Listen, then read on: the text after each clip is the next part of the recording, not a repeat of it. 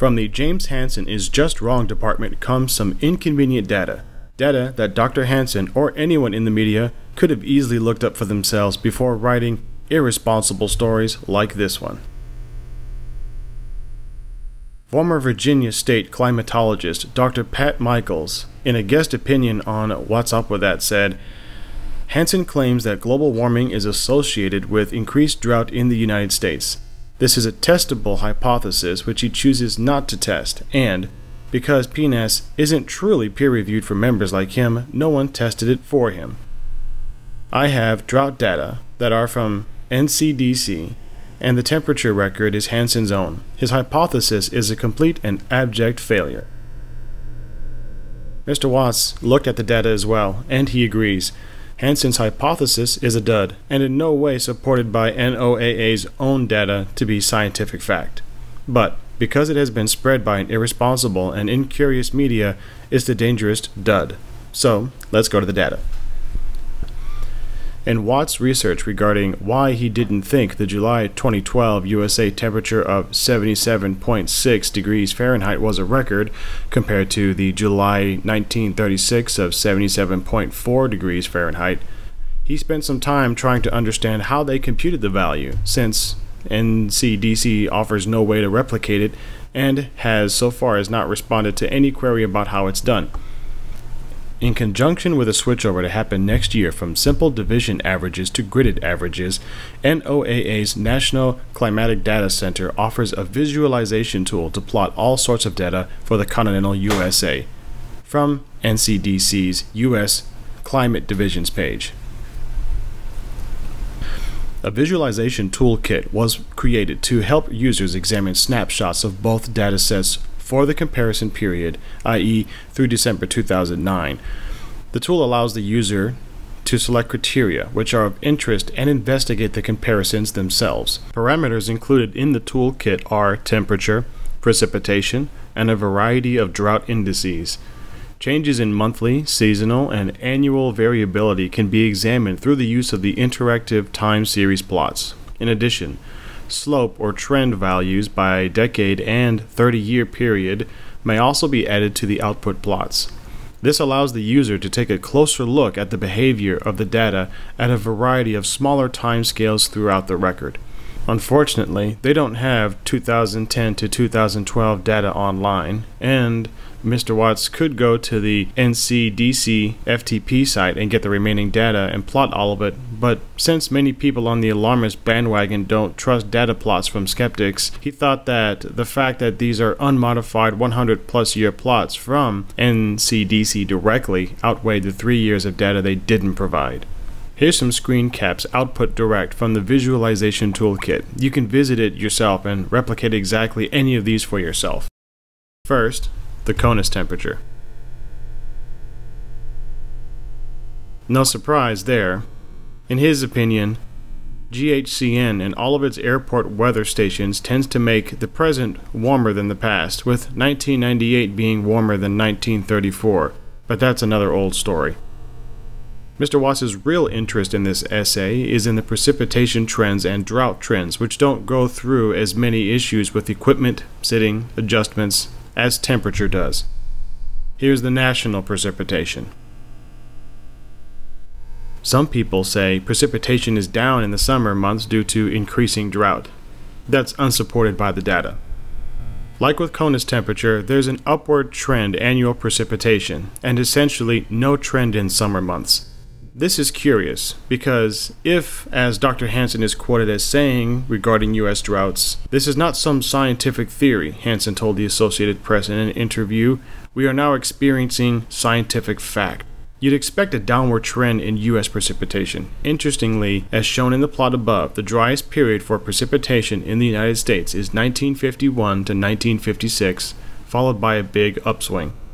But precipitation totals alone is not a measure of drought, soil moisture, and other factors figure in too.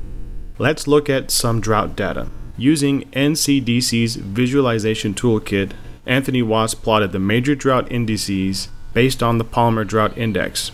The Palmer Drought Sensitivity Index, known periodically as the Palmer Drought Index or PDI, attempts to measure the duration and intensity of the long term drought inducing circulation patterns. Long term drought is cumulative, so the intensity of a drought during the current month is dependent on the current weather patterns plus the cumulative patterns of previous months.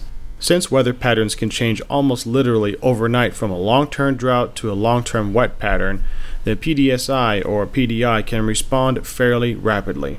The hydrological impacts of drought, for example, like reservoir levels, groundwater levels, etc., take longer to develop, and it takes longer to recover from them.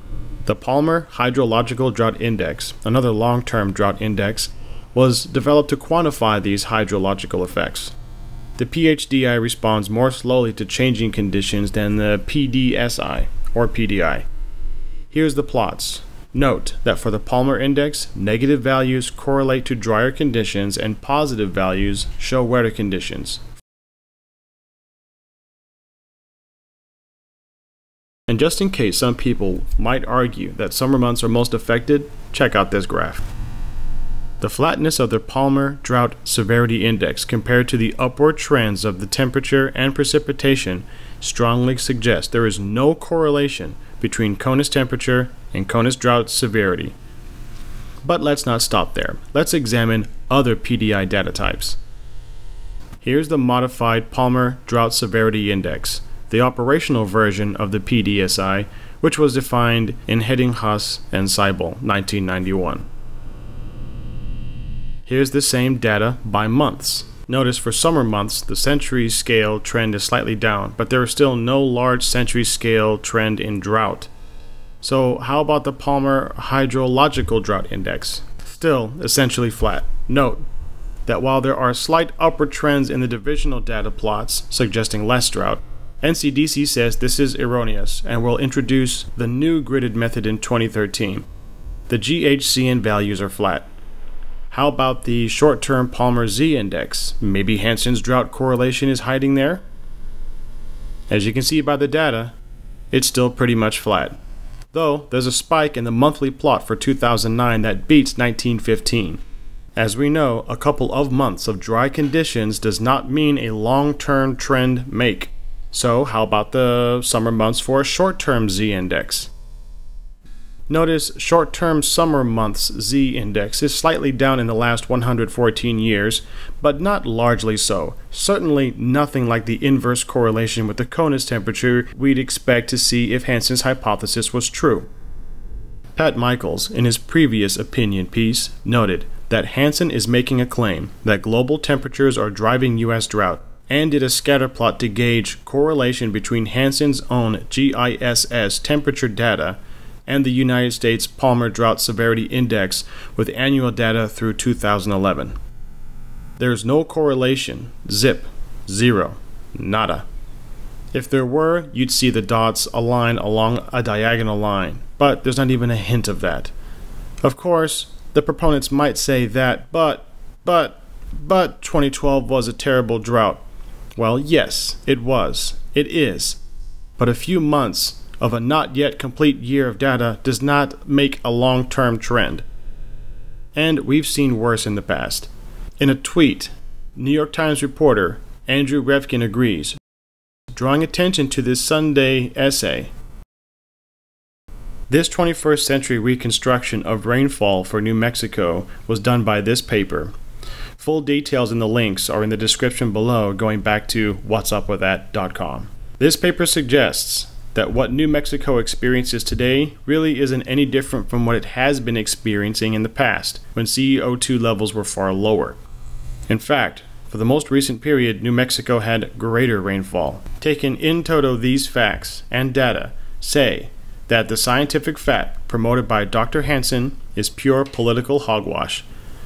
PNAS should withdraw the paper, and NASA should fire Dr. Hansen for promoting an opinion unsupported by data as scientific fact.